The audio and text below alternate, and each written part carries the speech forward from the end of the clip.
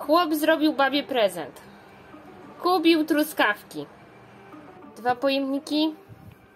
Nie. Kilka toreb. I co my z tym zrobimy? No co? Szybki kompocik. Takie na już. Takie, żeby zadowolić naszą drugą kochaną połówkę. A jeśli potrzebujecie dla waszych małych pociech albo waszych dużych łakomczuchów kompoty, dżemy albo soki na zimę z truskawek, to zapraszam was. Tutaj będzie link. A jak chcecie być na bieżąco z filmami, to kliknijcie w dzwoneczek.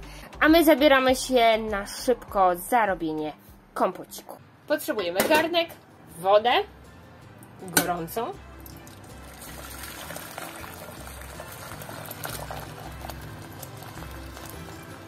cukier.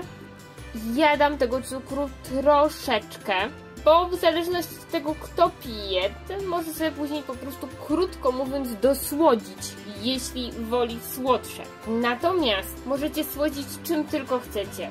Od cukru białego po brązowy, po inne różne specyfiki, środki słodzące. Ja dam tym razem brązowego trochę cukru i do tego obrane truskaweczki. I zaczynamy gotować.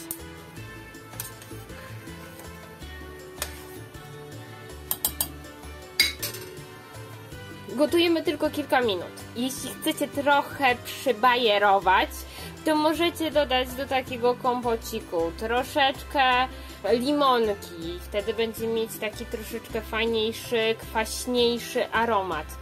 Ale możecie też po wystudzeniu dodać troszeczkę liści mięty.